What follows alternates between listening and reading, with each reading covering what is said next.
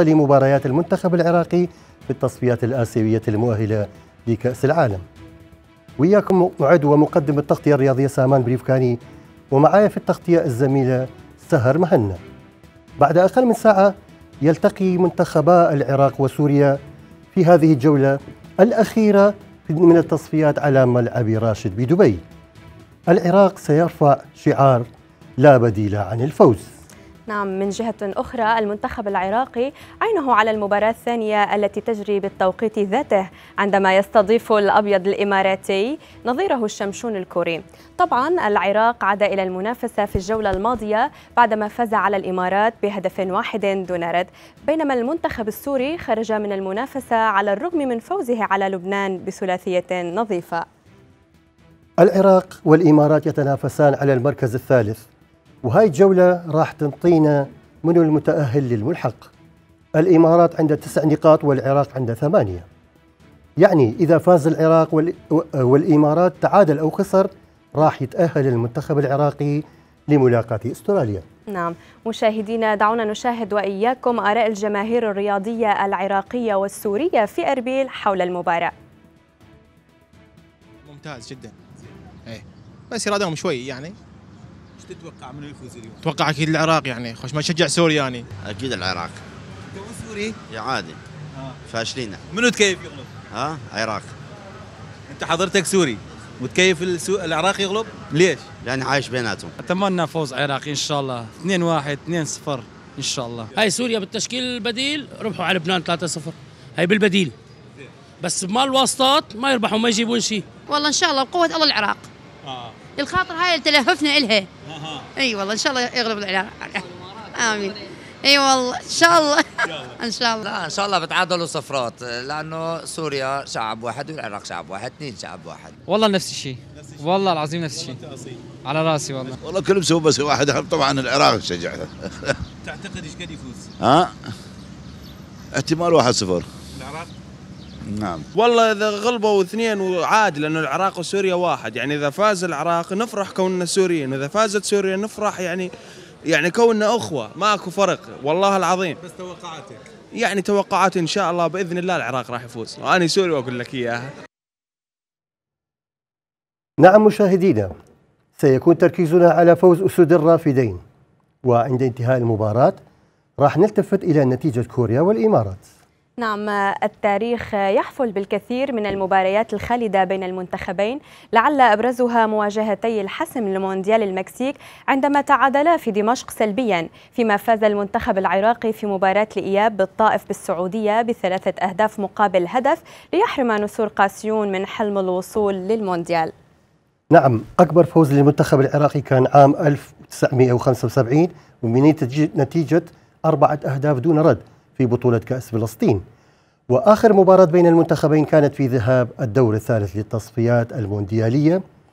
وهذه والتي انتهت بالتعادل بهدف واحد لكل منهما.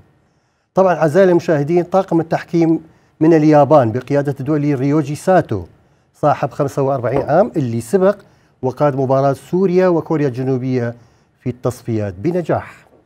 آه، أعزائي المشاهدين معنا في استوديوهاتنا ببغداد الصحفي الرياضي سامي عيسى. أهلا بك سامي. المباراة مشابهة لسيناريو تشرين الثاني عام 1985 والعراق صعد للمونديال بعد فوزه على سوريا 3-1 شنو رأيك حبيبي؟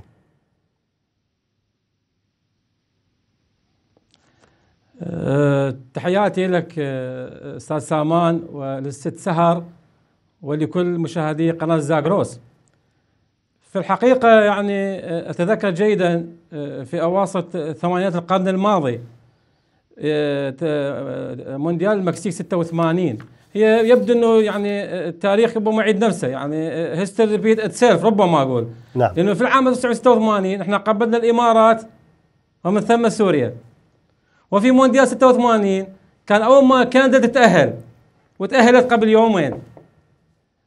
وفي 86 أيضا الدنمارك أول تأهل لها فما اعرف يبدو إنه يعني التاريخ عيد نفسه أو لا. آه الله أعلم. آه فيما يتعلق إحنا الآن أنا على بعد يعني أقل من نصف ساعة عن توقيت المباراة في يعني آه في الإمارات. إحنا بالنسبة لنا بصراحة يعني آه، آه، آه، ننتظر شيئين. إحنا آه، آه، أول شيء ان نفوز وننتظر هدية من كوريا. هذا واحد. اثنين مصير البطاقة بيد الإمارات. اللي هم تسع نقاط إحنا ثمانية. آه، لكن بشكل عام يعني مباراة اليوم هي أكيد يعني آه، بصراحة يعني نفسية معنوية ذهنية أكثر ما هي فنية خططية تكتيكية بسبب الضغوطات الإعلامية والضغوطات ال- ال- الجماهير وضغط المباراة والنتيجة. المنتخب السوري لا يمتلك شيء هو خارج الحسابات لكن في في الحياة بشكل عام وفي الرياضة انت صعب جدا من تقابل يعني منتخب أو نادي فاقد لكل شيء لأن ما عنده شيء خسرة. نعم. آه، أرحب بك. بالتالي يعني أنا أحذر اللاعبين يعني إنه ينسون مباراة الإمارات. نعم أستاذ سامي المنتخبان العراقي والسوري مستواهما مستواهما متقارب آه، هاي الفترة. آه، مع أفضلية قليلة للمنتخب العراقي وهي بمثابة مباراة نهائية. ما رأيك؟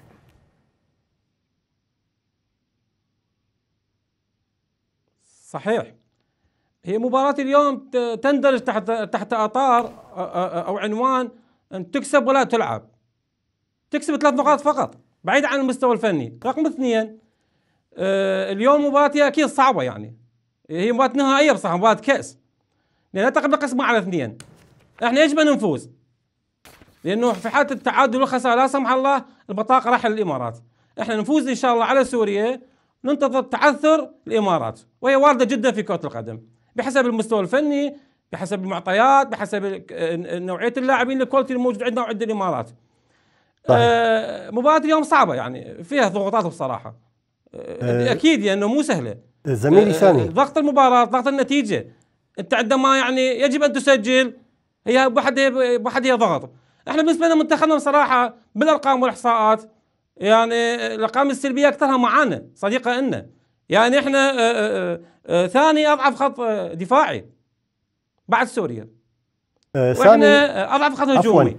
عفوا. على المقاطعة آه، سامي مع حبيبي. مع, مع لبنان. آه، ال- صورت ال- آه، البارحة في المؤتمر الصحفي صرح عبد الغني شهد أن كرة القدم في الوقت الحالي لا تبحث عن المتعة بقدر ما تبحث عن تحقيق النتائج. وعلينا تصحيح مسار المنتخب والكلام لعبد الغني شهد. ويبقى هدفنا فقط نقاط المباراة. ما رأيك؟ صحيح. نفس كلامي بالضبط. يعني ما ما شايف المؤتمر الفني يعني press conference يعني الله شاهد. لكن كثير وضع المباراة هو قال حساسية المباراة نعم. إنه أنت مباراة كاس نهائية خلاص بعد. اي فعلا لا واقعي منطقي. المباراة ما تقبل يعني التاريخ لا يذكر المستوى الفني. يعني التاريخ بعد عشر سنوات أو خمسة أو أكثر ما يذكرون المنتخب العراقي خمس مرات في العارضة خمس مرات في القائم أضعنا ركلتين جزاء يذكر النتيجة. وبالتالي هو النتيجة هي مهمة في كرة القدم بعيد عن المستوى الفني. لكن تجمع ما بين المستوى الفني والنتيجة هذا شيء جيد جدا شيء المباراة بصراحة. آه، آه، المنتخب السوري اليوم هو حيسترجع أربع لاعبين. يعني أربعة لاعبين اليوم يعني كانوا غائبين في المباراه الأخيرة. حيسترجع محمود المواس ويسترجع مرديكيان وعلاء الدلي والمرمور. غابوا عن المباراه السابقة مع لبنان لكن يوم رجعوا آه، آه، آه، بعد الحرمان والإصابة. إحنا بالنسبة لنا بصراحة يعني منتخبنا مطمئن يعني. بعد العرض اللي قدمناه أمام الإمارات. يعني أظهرنا بصراحة إحنا المرة الأولى منذ تسع مباريات في تصفيات كأس العالم إحنا نفوز بالكلين شيت. أول مرة آه، ما نستقبل هدف في مباراة. آخر مباراة كانت مع هونغ كونغ 1-0 قبل مباراة إيران. هذا يدل على إنه في في في عمل جماعي وفي انضباط تكتيكي وفي منظومة حديدية دفاعية حديدية. لكن في المقابل أيضا نعاني من بعض بعض النقوصات. إحنا بالنسبة لنا يعني عندنا أخطاء دفاعية بصراحة خاصة فيما يتعلق بالكرات العكسية الجانبية والكرات الثابتة. رقم اثنين آه، إحنا يعني نشاء الصعود قليل للظهيرين. واليوم كرة القدم هي كرة قدم الظهيرين اللي هم يكون آه، آه، يكون آه، مفتاح رئيسي وأساسي بتحقيق الفوز من خلال الصعود على على الأطراف بالزياده العددية. رقم ثلاثة إحنا بالنسبة لنا نعاني من من من موضوعات خلق الفرص الخطرة. يعني إحنا في كل مباراة يمكن من أقل أقل فرق المجموعة خلقا للفرص. وأنت في كرة القدم في معيار للفريق معيار لأي منتخب قوي أو نادي قوي في العالم يعني اللي هو كم فرصة حقيقية آه، تخلق كم هدف تسجل. سامي آه، والميزان الثاني أو المقياس الثاني هو الكلين شيت بدليل بدليل إنه من صدر المجموعة مالتنا كوريا آه هو الأقل أهداف. اثنين بينما إيران أربعة. اذا هذا يعطيك دليل على إنه كرة القدم اليوم كرة قدم دفاعية. نشوف أغلب المنتخبات العالمية أغلب الأندية الكبرى سواء في أوروبا وخارج أوروبا اليوم يركزون على المنظومة الدفاعية الحديدية. ويركزون على ال counter attack اللي هو نعم يعني ما هي هذه السريعة. الأخطاء الدفاعية أنت في اللي عم البدايه تذكرها آه سامان؟ حبيبي ما هي هذه الأخطاء الدفاعية اللي عم تذكرها حضرتك؟ برأيك ما هي؟ رقم واحد ال- الأخطاء اللي هي بال اي اي أبرز هاي الأخطاء اللي هي الأخطاء الفردية والجماعية فيما يتعلق بالتمركز نعم داخل منطقة الجزاء رقم واحد رقم اثنين مراقبه المنافس رقم ثلاثة. إحنا الخطأ اللي يصير عندنا شنو؟ خاصة في الكرات العكسيه الجانبية والكرات الثابتة. ندفع ثمن اهداف بصراحة. نعم. ال- البعض من اللاعبين عينه على الكرة وليس على المنافس. وهي مشكلة. يجب على اللاعب إنه يركز في نفس التوقيت هو عنده عيون اثنين. عين على الكرة وعين على المنافس. أضف إلى ذلك إنه إحنا نعاني بصراحة آه، في في جزئية مهمة جدا فنية. سامان سهر. آه، إحنا نعاني من صناعة اللعب بصراحه يعني في الأمام. نعم. إحنا مع الإمارات رغم فزنا لكن إحنا ما استحدثنا ولا فرصة حقيقية. للهدف اللي اجى اجى من يعني لعب صحيح كان لعب لعب مفتوح open لكن إحنا نعاني من خلق الفرص. ليش؟ لأنه إحنا بالنسبة لنا لا نملك صانع ألعاب playmaker يسموه تسعة ونص اللي هو ما بين العشرة والت- وال- والتسعة الهداف اللي هو ال target man أو ال box man التسعة ونص هذا هو اللي يسوي لك اللعب اللي يعطيك الكرة البينية البينية ويعطيك ال through pass اللي يفرد بها المهاجم اللي هو هذا أعتقد عن جسم بيرام محمد قاسم بشار رسن نشأت أكرم في السابق ناطق نعم. هاشم الله يرحمه هادي أحمد شاكر محمود باسل جورجيس إسماعيل محمد. إحنا اليوم نعاني في منطقة صناعة اللعب بالتالي شلون نعوضها؟ نعوضها باللعب الجماعي بالزياده العددية وتفعيل الأطراف. بحسب ما أعتقد اليوم الكابتن عبد الغني شهد حسب ما وصلنا من الأخبار إنه ما راح يغير بالتشكيل. بالضبط. هذه آخر الأخبار يعني. سامي هسه آه، وصلنا أعتقد ال- حيلعب نفس وصلتنا النظام. التشكيلة. آه، سامي وصلتنا التشكيلة. على قولتك إحنا نلعب بمهاجم واحد صريح في كل يا المباريات. آه، لما يت- يتحقق له أي فرصة طبعا مهاجم وحيد آه، قليل بالنسبة إذا أنت ناوي على الفوز خصوصا هذا المباراه هاي المباراه. تشكيلة المنتخب العراقي اللي وصلتنا هسه لحراسة المرمى جلال حسن خط الد- دفاع مؤلف من أحمد إبراهيم مناف يوسف ضرغام إسماعيل وشيركو كريم أما خط الوسط آه، أمجد عطوان سعد عبد الأمير حسين علي وإبراهيم بايش. آه، ولخط الهجوم أحمد حسين طبعا آه، مهاجم صريح. فهاي الخطة تدل على مثل حاج أن أنت حكيت راح نلعب بمهاجم واحد صريح وهذا قليل. إذا منتخب يريد يحقق فوز وفوز يعني يعني مصيري. صح. شوف مثل ما مثل ما توقعنا. آه، آه، نفس التشكيل آه، نفس نفس نفس الرسم التكتيكي اللي هو يعني 3 5 2 إذا كانت الكرة عندنا. بصعود شيكو كريم على جهة اليمين وضرغام اسماعيل على جهة اليسار.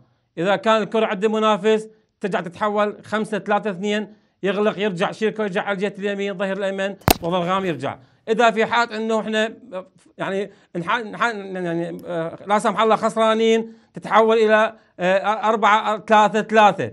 إذا لا سمح الله يعني متع... إذا فايزين ترجع الاسم التكتيكي يرجع يتغير أسلوب اللعب إلى خمسة أربعة واحد. هي حسب النتيجة آه، سامان. أنا أشوف اليوم يعني هو واقعي بصراحة من لعب المهاجم واحد أمين حسين لكن هي واجبات. هي ترى بعد في كرة القدم سامان سهر. نعم. آه، بعد آه، بعد نص دقيقة من تحريك السنتر كل شيء يتغير. يعني صح.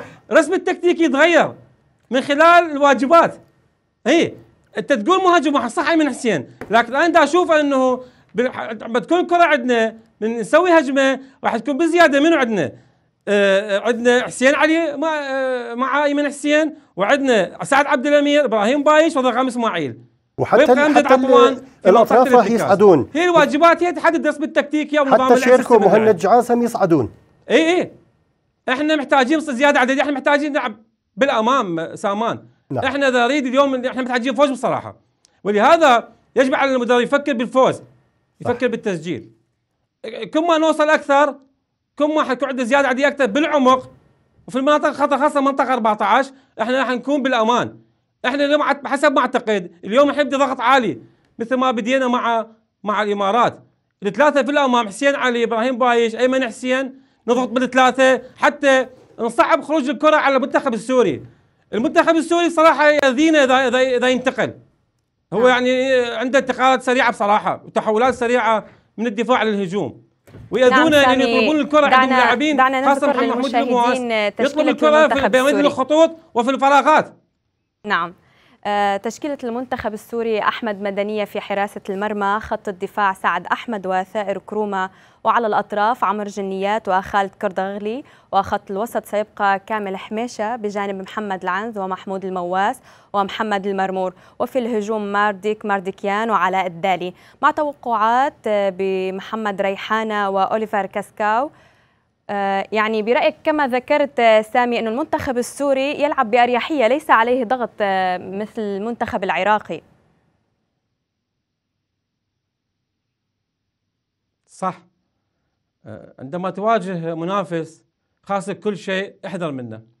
ربما آه، يعني يسبب لك مشاكل. صار ذاك اليوم مع إيطاليا ومقدونيا الشمالية. مقدونيا فازت 1-0 بهجمة واحدة مرتدة. كرة القدم لا تعترف. آه، كرة القدم لعبة لا منطق ولا معقول. و- ولا لا تحكم الحسابات المنطقية والفنية. على أي حال يعني بطبيعة الحال مثل ما قلت لك شوف عودة الرباعي. يعني عودة الرباعي السوري الخطر اللي هو محمود المواس والد- والد- والدلي ومردكيان والمرمور. عندهم كردخلي على جهة اليسار ممكن بزيادة عددية يأذينا ولهذا أعتقد أنا اليوم حيكون لعبنا حذر بصراحة. بالبداية ما إحنا ما أعتقد ما راح يعني نلجأ للهجوم. راح نبدي نلعب بحذر بالبداية نغلق المساحات نضيق المسافات راقب مفاتيح اللعب ما ندفع للأمام ننتظر ردة فعل المنتخب السوري يعني حسب ما أعتقد إلى أن مثل منتصف الشوط- الأول. المنتخب السوري يعني عنده تحولات سريعة. محمود الماس خطر جدا. يعني في منطقة ال- المنطقة الخطرة المنطقة الذهبية اللي هي منطقة 14 اللي هي أخطر منطقة في مربعات الملعب ال 18 ولهذا يجب أن نكون مراقبتنا لصيقه له نراقب مفاتيح اللعب من نعطيهم مساحة والمسافة إنهم يتصرفون بالكرة الضغط العالي هو شنو الضغط العالي؟ تحرم المنافس من الوقت والمساحة بالتصرف بالكرة. أنا أعتقد اليوم آه، يجب أنه نصعب خروج الكرة على المنتخب السوري بنفس الوقت. تكون عنده خطوط متقاربة. حتى اللاعب اللي يحمل الكرة يكون عنده خيارات بالتمرير ما يواجه صعوبات. من خلال تقارب الخطوط من خلال تقارب اللاعبين المنظومه الدفاعية الحديدية. أيضا ال- ال- الاستحواذ والسيطرة. أنا أعتقد اليوم آه، منتخبنا يعني يلعب بأريحية. يعني يجب يلعب بأريحية. يبتعد عن العصبية والتعصب. يكون هناك تركيز ذهني. هناك تركيز يعني يعني تركيز ذهني عالي فيما يتعلق بمواجهات المباراة. نعم سامي. اليوم يعني قلت لك يعني يعني آه، توضحت مباراة صعبة. نعم توضحت التشكيلات لكن يعني أعتقد يجب على المنتخب العراقي الحذر من الهجمات المرتدة خصوصا في ربع الساعة الأولى.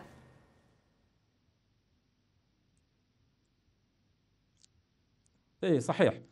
هو يعني آه، آه، آه، المنتخب السوري يعتمد على ال- ال counter attack الهجمة العكسية المرتده السريعه بالتالي يجب إحنا أن نغلق المساحات نكون حذرين بالمناطق الخلفية. عندنا عندنا زيادة عددية في الخلف ما نسمح لهم يتحركون بحرية. يطلبون الكره خلف المدافعين يطلبون الكره في ال- في المساحة يطلبون الكره ما بين الخطوط. يجب إن الضغط العالي آه، مراقبه لصيقة مفاتيح اللعب. إحنا بالنسبة لنا قادرين بصراحة. إحنا من خلال يعني التحولات السريعة من خلال التأمين الدفاعي والانقلابات السريعة والزياده عديدة في الأمام.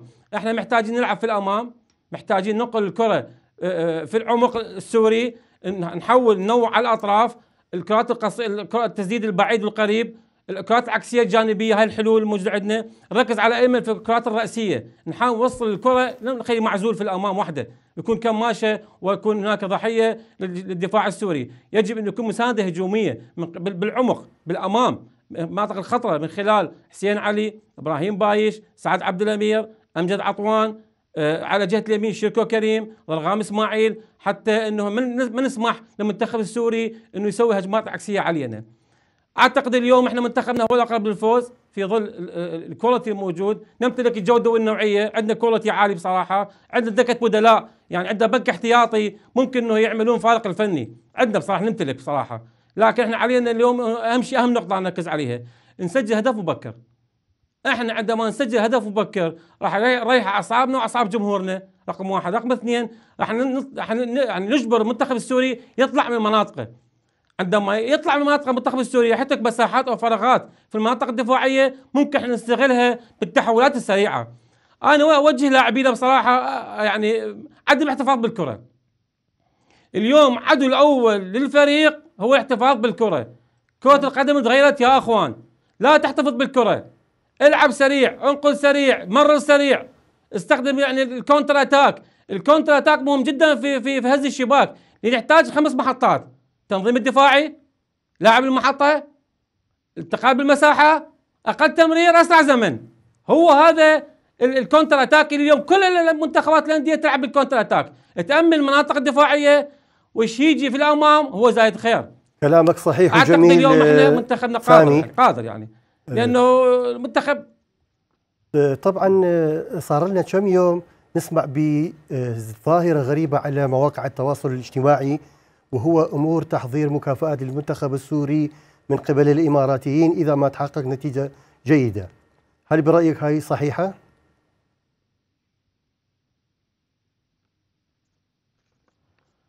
يعني وليس كل ما يقال هو صحيح لكن إحنا سمعنا في السوشيال ميديا التواصل الاجتماعي ربما في يعني يعني عملية اتفاق أو عملية دعم مادي لكن أنا بصراحة ما ما علاقة بالإمارات وسوريا. في الميزان عندما تضع في الميزان كفه الوطن وفي الكفه الأخرى المال كفة الوطن هي الراجحة. بالتالي أنا أوصي لاعبين يبتعدون على هاي الأمور. التركيز لدينا في المباراة وبس. إحنا نفوز. الإمارات ينطون ينطون لسوريا كوريا ينطون يعني يعني مثلا يعني الإمارات ما أعرف يعني. إحنا نركز في مباراتنا. إحنا نفوز ناخذ ثلاث نقاط وننتظر تعثر وهدية من أكيد. كوريا وإيران. نعم. فأعتقد يعني هذا كلام مبالغ به بصراحة. يعني هاي الأخلاق والنزاهة يعني النزاهه يعني فيما يتعلق بالفيفا يعني فيما يتعلق بكوريا ولبنان إنه ما أعتقد يعني بصراحة. أو الإمارات وسوريا لا ما أعتقد. في أخلاق وفي نزاهة وفي التزام. إحنا اللي علينا نسويه. نترك هاي الأمور الجانبية نركز في المباراة شلون نفوز. شلون نسجل؟ كيف نخلق فرص منظومات الدفاعيه الحديدية التحولات نعم. السريعة نعم. آه، الضغط العالي الاستحواذ والسيطرة تنويع نعم،. الهجوم الكرات الثابتة الك- ال counter attack الأخطاء الدفاعية. شوف كلها نعم. معطيات فنية. إحنا مشكلتنا وين؟ آه، ست سهر. أستاذ آه، سامان. أنا في حسب ما أعتقد. نعم إحنا ما نمتلك ما عندنا لاعب سوبر ستار. سامي بعد قليل ستقام إيه. مباراة العراق وسوريا على كوريا. الإمارات. وما عندنا سردار إيران. نعم هل تسمعني؟ بعد قليل ستقام مباراة العراق وسوريا على أرض الإمارات. أسمع، والمستضيف هو من نفس المجموعة. لماذا لم يشتكي الاتحاد العراقي ويطالب بنقل المباراة إلى مكان محايد؟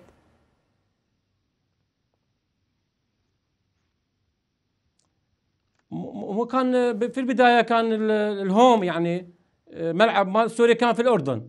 نعم. لكن ثم حولوها إلى الإمارات. يعني قبل مباراه اليوم. يعني بال- بال- بالإياب حولوها إلى الإمارات. بس هو هذا في ملعبهم يعني صالح المنتخب العراقي. طبعا. يعني يعني أنت ممكن ممكن تدخل مباراتك إحنا يعني. يلعب نفس لكن المجموعة هي ملعبهم الهوم مالهم الإمارات. وهي صدفة صارت يعني. كان لازم على الاتحاد العراقي أن يشتكي من هذا لأن نعم آه، سامي أنت تعرف هو الإمارات المنافس الوحيد للعراق على خطف بطاقة الملحق. فأكيد كل الأمور راح تصير ضد المنتخب العراقي. كان على الاتحاد العراقي أن يشتكي على تغيير الملعب صراحة.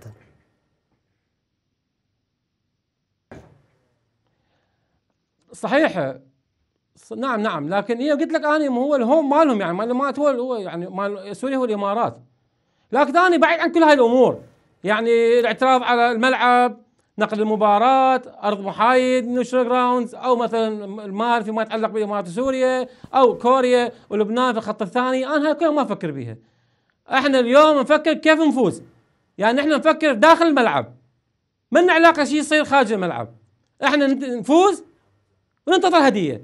أما إحنا نظل يعني بصراحة نفكر ون- ونشغل لاعبينا وجهازنا الفني بأمور ثانوية جانبية هذا خطأ. إحنا اليوم مباراة كأس مباراة نهائية. لا تقبل القسم على اثنين. الخسارة أو التعادل لا سمح الله. bye bye. bye bye قطر 2022 نفوز وننتظر تعثر. كرة القدم إيه، لا تخضع للحسابات. ولا تخضع للمنطق. كرة القدم ليست واحد زائد واحد يساوي اثنين. في كرة القدم واحد زائد واحد يساوي أربعة. وعندنا شواهد تاريخية كثيرة. في مفاجآت وفي في وفي نتائج غير متوقعة. منتخبنا اليوم بحسب ما قدم مع الإمارات قادرين اليوم قادرين على تخطي ال- الحاجز السوري. إحنا أفضل. يعني آه، آه، فرديا وجماعيا. وضعنا النفسي والمعنوي والذهني أفضل. إحنا نقاطنا أكثر. إحنا عندنا عندنا طموح عندنا رغبة عندنا عندنا آه، آه، آه، فرص أو فرصة بالتأهل إلى مباراه الملحق. سوريا لا- تمتلك شيء. إحنا علينا نسوي إنه نركز في مباراة اليوم. التركيز الذهني مطلوب والتركيز الدفاعي مطلوب مطلوب. المنظومة الدفاعية الحديدية آه، آه، آه، ال- ال- ال- ال- ال- الدفاع التركيز الذهني آه، العمل الجماعي والانضباط التكتيكي أهم شيء هاي. إحنا مثل ما قلت لك محتاجين نسجل هدف مبكر وتحت تذكرني. إحنا إن شاء الله اليوم إحنا بعد آه، هسه الساعة 4 ونص 5 بعد 10 دقائق. طبعا نعم، سامي. شوط لو حتى يروح علي. ما راح أشوفه. نعم ابقى معنا أكيد سنعود. لمتابعة الحديث. آه، لكن دعنا آه، إيه، نذكر إحنا نسجل هدف مبكر نفتح كل العقد وال- وال- والطرق. سامي ابقى معنا. دعنا نذكر المشاهدين أن المنتخب العراقي أقام يوم أمس آخر وحدة تدريبية تحضيرا للمباراة وحضرت تدريبات اللاعب علي عدنان لمؤازرة أسود الرافدين وكان له هذا التصريح. أنا واحد من المشجعين لهم راح أكون باكر ومساند لهم آه، بالملعب. آه، بصراحة هي مباراة آه، صعبة جدا. آه، ممكن ما تعني شيء للمنتخب السوري لكن تعني كثير بالنسبة للفريق العراقي. آه، خاصة أنه بعد النتيجة الأخيرة اللي حصلنا عليها أمام الإمارات اللي كانت آه، بصراحة نتيجة مستحقة جدا لأنه بعد الأداء اللي قدمه المنتخب العراقي في هذه المباراة أتمنى من رب العالمين أنه يوفق المنتخب في هذه المباراة أمام سوريا لأن مباراة تحصيل حاصل. ممكن تنقلنا نقلة كبيرة في سبيل إنه نكون بالملحق أو حتى إذا ما انتقلنا فأعتقد إنه راح يكون هناك فريق قادم بقوة لبطولة آسيا إن شاء الله، أتمنى التوفيق لكل اللاعبين، زملائي اللاعبين، الكادر التدريبي وجميع أعضاء الوفد العراقي وإن شاء الله راح أكون مازرهم بالملعب إذا الله. آه نعم أعزائنا المشاهدين نعود إليكم من جديد. آه آه، أخ سامي كوريا الجنوبية أكيد هي متصدرة المجموعة وبجدارة.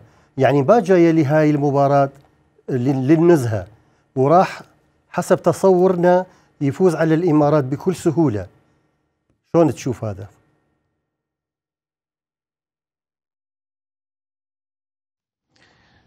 هو يعني بحسابات يعني النقاط يعني. اليوم إحنا يعني لبنان الامارات تسعة يعني إحنا ثمانية لبنان ستة. كنا نمتلك حظوظ. وكرة القدم يعني يعني فيها كثير من المفاجآت بصراحة. وأنا حذكركم حادثة تاريخية تشبه اليوم. نعم. أولمبياد اليونان 2004 مع الكابتن عدنان حمد. المباراة الأخيرة العراق مع السعودية والكويت مع عمان. الكويت مع عمان يتعادلون وإحنا نفوز على السعودية نتاهل للأولمبياد. وصارت. الكويت مع عمان تعادلوا 0 0 وإحنا فزنا على السعودية 3 1 يعني ممكن في كرة قدم ممكن صارت. يعني فيها شواهد تاريخية. أرجع لك اليوم كوريا أعتقد يعني آه، بصراحة يعني أفضل بكثير يعني. يعني أفضل من الامارات في يعني في كل شيء في الميزان الفني يعني. يعني آه، جودة اللاعبين جودة المدربين آه، آه، آه، عدد النقاط الشخصيات قويه السرعات يعني المنظومة الدفاعية التحولات السريعة. كوريا لا آه، استغلال الأطراف بالعمق. لا فرق كبير بين كوريا والامارات رغم أني يعني آه، كانت قد مفاجآت. لكن على الورق على الورق. كوريا تغلب تغلب الإمارات. على الورق. إيران تغلب لبنان. على الورق. العراق يغلب سوريا. صحيح. لكن هذا في علم الغيب. نعم ما في سامي يصير. لكن لكن إحنا عندنا معطيات فنية. عندنا نعم. quality لاعبين جودة لاعبين. عندنا حالة نفسية وحالة معنوية. آه، لكن أعتقد العراق هو الأقرب إلى البطاقة الثالثة. صحيح سامي لكن في حال فوز كوريا رح يتقدم بتصنيف الفيفا وبالتالي يعني سوف يصبح موقفه أقوى مجموعات المونديال.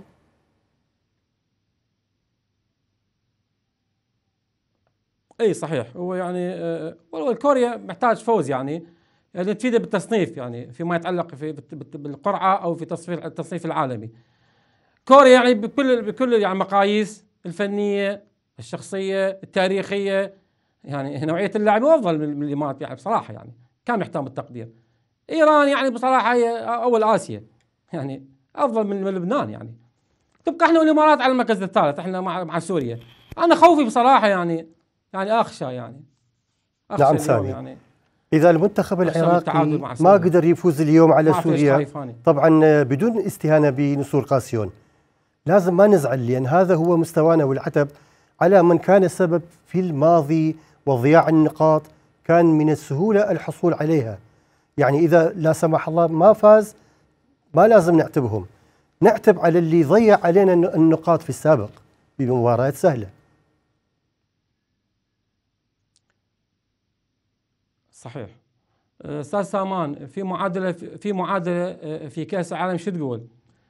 في المجموعات يعني آه، يجب أنه تخسر أو تتعادل مع الكبار اللي أقوى منك، أكبر منك، أثقل منك اللي هم كوريا وإيران.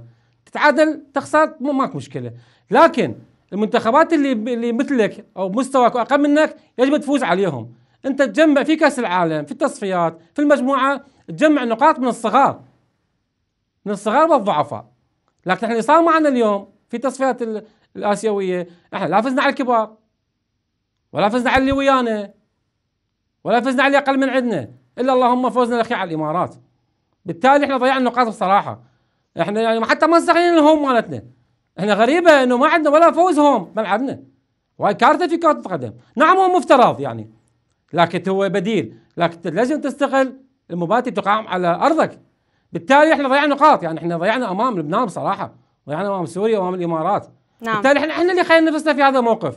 إحنا دائما في كأس العالم من أول مشاركه في العام 1974 دائما إحنا خلينا نفسنا في عنق الزجاجة في الموقف المحرج. في 86 مع مع قطر في كلكتة سجلنا كريم علاوي هدف من بايسكل كيك ما خيالية. وتاهلنا مع الإمارات كريم صدام سجل بالدقيقه 90 وتأهلنا. إحنا دائما يعني موقفنا حرج وقلق في تصفيات كأس العالم. لكن نعم. في ما أعتقد يعني نعم اليوم سامي. إحنا قادرين بصراحة. يعني مع نقاط الوقت كثيره يداهمنا. الصحفي الرياضي الزميل سامي عيسى كنت معنا مباشرة من بغداد. شكرا جزيلا لك. مشاهدينا الأعزاء لم يبقى إلا القليل لتبدأ المباراة المصيرية بين المنتخب العراقي ونظيره السوري. نشكركم على حسن المتابعة. نشكركم مشاهدينا على حسن المتابعة. كل التوفيق للمنتخب العراقي في مباراته. إلى اللقاء. إلى اللقاء.